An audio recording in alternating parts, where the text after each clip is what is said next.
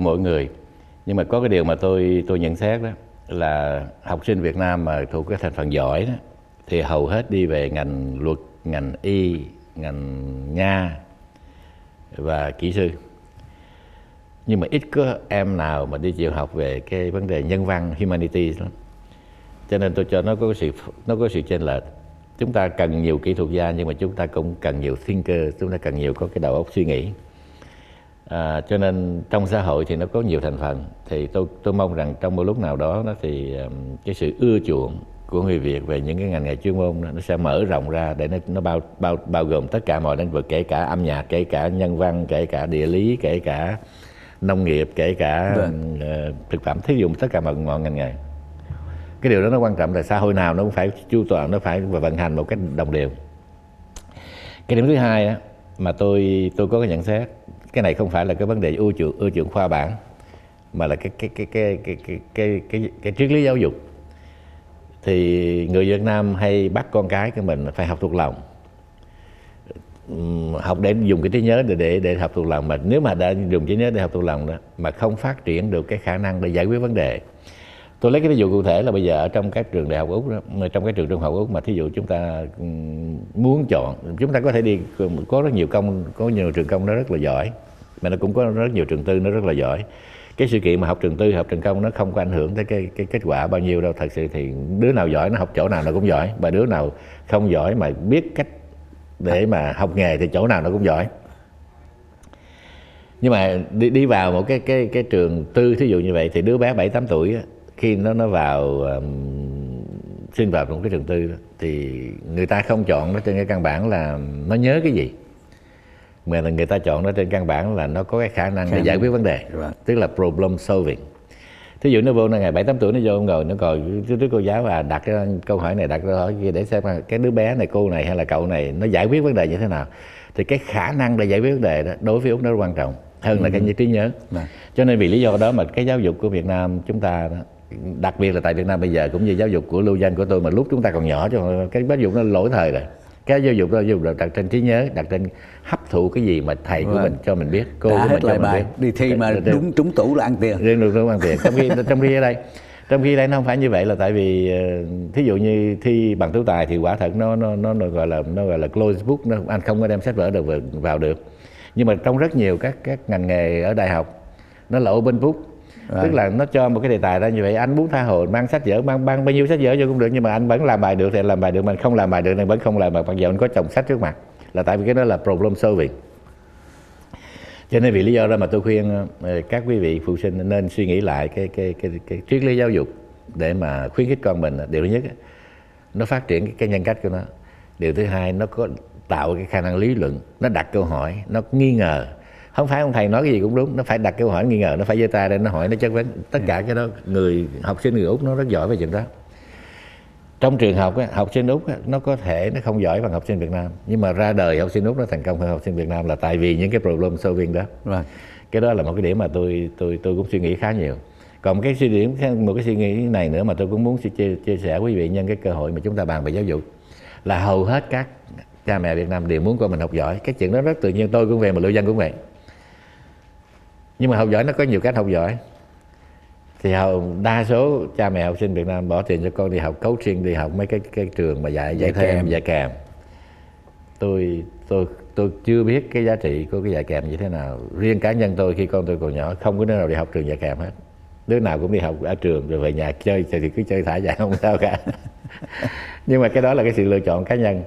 Tuy nhiên nếu mà chúng ta chú ý nhiều về giáo dục của con em chúng ta thì cái phúc trình này là phúc trình quan trọng cái phúc trình này là phúc trình được công bố sau 5 năm nghiên cứu và, và từ đây người ta sẽ nghiên cứu thêm 5 năm nữa để người ta phổ biến vào cuối cùng vào cách đây năm cách đây năm tức là vào năm 2018 thì nó có rõ một cái chiều hướng đi của con đường giáo dục tiểu học và trung học tại Úc Đại Lợi. Trong đó cộng đồng Việt Nam là một thành phần quan trọng. Vâng.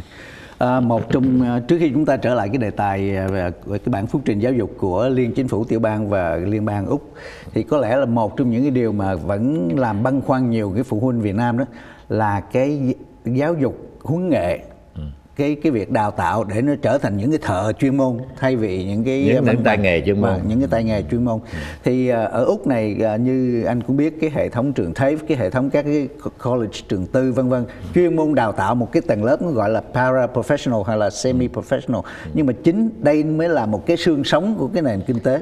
Cái nền kinh tế nó không vận hành được nếu cái nền kinh tế nó bị lệch lạc vào một cái nghề nào đó cái nền kinh tế nó phải có đủ tất cả mọi người làm đủ một cái cái, cái chức năng khác nhau. Ở, ở mọi trình độ ở mọi trình độ khác nhau. Thí dụ như bây giờ chúng ta có thể có một kỹ sư rất giỏi ngồi vẽ ra những cái đồ án rất hay. Nhưng mà điện trong nhà anh bị bị bị hư anh không sửa được. Anh phải cần người sửa điện. Chúng ta có những những những những kiến trúc sư rất giỏi xây cất rất giỏi vẽ ra những cái kiểu nhà rất đẹp nhưng mà nếu cái cái hệ thống ống cống ở trong nhà ông bị bể ông không làm gì được chúng ta phải có cần một người plumber mà tôi xin lỗi quý vị là một người mà đi học plumber phải học 4 5 năm lần. Dạ. Yeah. Học rất cực khổ, học mà, mà mà họ làm rất nhiều tiền. Họ làm rất nhiều tiền vâng. mà họ rất hạnh diện cái nghề của họ. Tôi tôi trong nhà tôi có bị bể ống nước mấy lần rồi tôi biết tại tại vì kêu họ tới thì họ tới mà cái trước khi họ tới là họ sạm một số tiền rồi yeah. Dạ. rồi mới tới.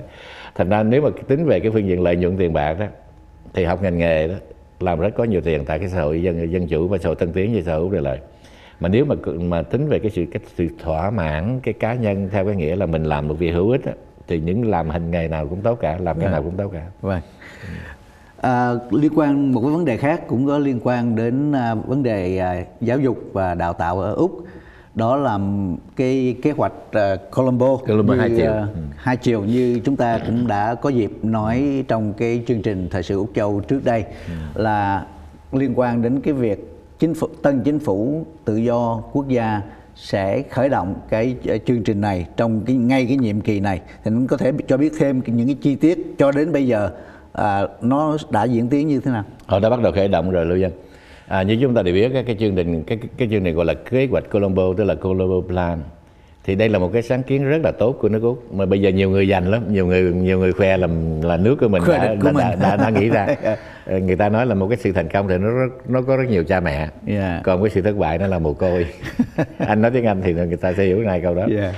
à, vào năm 1950 tại một cái cuộc hội nghị bộ trưởng ngoại giao của cái khối liên hiệp anh của Commonwealth British Commonwealth tại Colombo 1950 vì vậy nó có cái tên là thì Colombo nó có cái tên là Colombo Plan à.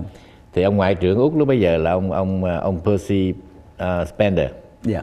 ông đề nghị ra một cái giải pháp là làm thế nào để cho cái các quốc gia tại Đông Nam Á có cái cơ hội phúc phát triển. Chúng ta nên nhớ 1950 là Đông Nam Á rất là chậm tiến, rất là là là thô sơ về mọi yeah. Dạ. phương diện. Thì à, bảy nước đã đồng ý làm cái chuyện đó mà bảy nước đó là hoàn toàn trong trong trong liên hiệp anh tức là úc địa lợi canada anh quốc ờ, new zealand ờ, pakistan india và colombo là lúc bây giờ gọi là ceylon tức là bây giờ là yeah. Sri Lanka. Cho nên vì lý do đó mà 1950 do cái sáng kiến úc địa lợi mà chương trình kế hoạch colombo được được được bắt đầu.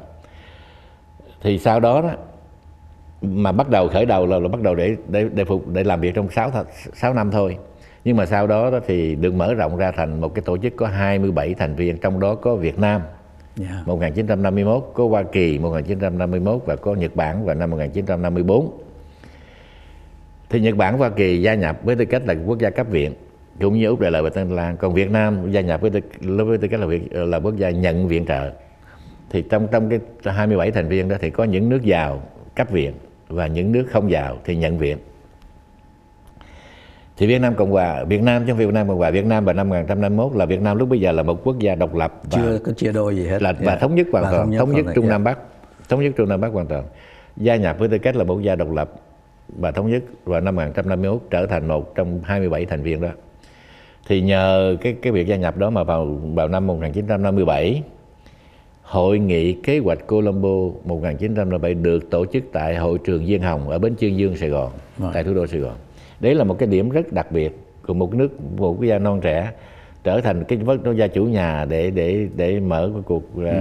uh, hội nghị của Colombo vào năm 1957 thì từ đó nó bắt đầu cái vấn đề về Việt Nam gửi học sinh ưu tú Việt Nam sang học Úc Đại lợi và các nơi khác như Nhật Bản, Canada và Hoa Kỳ uh, trong cái chương trình Colombo rồi sau đó thì chúng ta nhớ là khoảng đầu năm 1960 thì ông Trần Văn Lắm được cử làm đại sứ Việt Nam đầu tiên tại Canberra thì ông đẩy mạnh cái vấn đề đó và từ đó về sau thì cũng có hàng trăm sinh viên ưu tú Việt Nam Cộng hòa sang du học cho đến năm 1975 thì thì dứt điểm mà trong khoảng thời gian đó thì cũng khoảng có 6 700 học sinh hay là sinh viên ưu tú Việt Nam bị kẹt trở lại. Đó là cái thời kỳ Colombo một chiều. Đó là cái thời kỳ Colombo một chiều. Cái thời kỳ Colombo một chiều nó còn tiếp tục sau 1975. Nhưng mà cái tư cách hội viên của Việt Nam Cộng Hòa nó chấm dứt là tại vì chúng ta bị ờ, thất thủ. Nhưng mà cái đến năm 1980 đó thì cái hội cái tổ chức Colombo nó trở thành một cái định chế vĩnh viễn nó không còn được kéo dài năm bảy năm năm bảy năm mà cái cái, vâng. cái, cái, cái kéo dài như vậy nó trở thành vĩnh viễn tức là nó tồn tại vĩnh viễn thì cho mãi đến năm 2004 thì Cộng hòa xã hội chủ nghĩa Việt Nam mới bắt đầu gia nhập thì nó có khoảng trống từ năm 75 đến đến năm 2004 là không có sự hiện diện của Việt Nam. Ừ. Đấy đấy là cái cái Colombo một chiều. Tức là các quốc gia đang mở mang gửi sinh viên ưu tú tới Úc, tới Nhật, tới Canada, tới Hoa Kỳ để trở thành những chuyên viên và trở về nước phục vụ mà cái cái cái, cái chương trình đó rất là thành công từ bây giờ phó tổng thống Indonesia bây giờ đó vâng. là cựu sinh viên Colombo của Indonesia tại úc sang Singapore sang Mã Lai Á rất nhiều bộ trưởng tổng trưởng tại tại Singapore tại Mã là, là sinh viên sinh viên Colombo. Colombo tại tại úc để lại vâng. nó rất là thành công. Nhưng mà bây giờ đó cái thế giới bây giờ nó khác. Năm 2013 Đông Nam Á bây giờ nó là một nơi phát triển một nơi nó có cái thị trường sinh động. Và châu Á Thái Bình Dương bây giờ nó đang dẫn đầu thế giới về phương diện phát triển kinh tế. Cho nên các quốc gia tại Đông Nam Á cũng như tại châu Á Thái Bình Dương nó không chỉ là những quốc gia nhận viện trợ nữa mà nó là những cái đối tác quan trọng. Mà làm thế nào để khai thác được những cái đối tác quan trọng đó là cái vấn đề mà ông Tony Abbott đặt ra là tại sao Úc Đại Lợi có thể tiếp nhận những sinh viên ưu tú tại các quốc gia Đông Nam Á hay là tại châu Á Bình Dương tới học tại Úc để biết về cái đời sống tại Úc, biết về cái cấu trúc công quyền tại Úc, biết về những cái giá trị của Úc mà người úc lại không biết gì hết về đông nam á không ừ. biết gì hết về châu á thái bình dương vâng. cho nên ông ra đặt ra cái chính sách Colombo hai chiều cho nên kể từ năm 2014 thì cái sách chính sách Colombo hai chiều này được bắt đầu với bốn nước hay là nói nói tóm tắt là ba nước và một lãnh thổ. Ba nước đó là Nhật Bản Indonesia và Singapore. Và cái lãnh thổ đó là Hồng Kông. Thì bà Julia ghi là đã đi sang ờ, Indonesia như chúng ta đã biết. Chúng ta đã làm nhiều lần. Rồi bà đi Brunei rồi bà đi Nhật Bản bà đi Hồng Kông. Rồi hai các chính phủ liên hệ đã đồng ý ký kết một cái thỏa thuận với với, với chính phủ úc để hợp tác, để thử nghiệm cái chương trình Colombo này, Colombo hai chiều này vào năm 2014 rồi đến năm 2015 thì mở rộng cho các nước. Thì hiện bây giờ ông Tony Abbott đã à, đã dự chi 100 triệu đô la cho 5 năm cho cái chương trình này. Thì người ta hy vọng rằng à, trong cái chương trình này đó, thì sinh viên ưu tú của úc sẽ sang học tại các trường tại nhật bản, tại singapore, tại indonesia và tại hồng kông để trở thành những chuyên viên về châu á thái bình dương phục vụ cho nước úc và thì do đó cân bằng được cái cái quyền lợi của úc đại lợi trong cái vấn đề viện trợ. Và đồng thời uh, có thể khai thác được cái kết quả của sự viện trợ của mình. Vâng, à, dĩ nhiên thì cái uh, sự trao đổi hai chiều về mặt giáo dục nó sẽ dẫn đến những cái uh, kết quả khác nữa trong một cái chuỗi những cái kết quả mà do cái uh, từ cái sự uh, trao đổi giáo dục về hai chiều này. Uh, nó sẽ đưa đến cái sự tăng cường cũng như là phát triển kinh tế không phải chỉ cho úc mà cho cả những cái quốc gia mà cho, cho, cho toàn vùng. Và với một cái uh, nhận định như vậy chúng tôi xin kết thúc cái chương trình thời sự úc châu tuần này và xin hẹn gặp lại quý khán giả vào chương trình tuần tới. Xin chào luật sư lưu tường quang. Thầy lưu dân và kính chào tất cả quý vị khán giả của việt face tv úc châu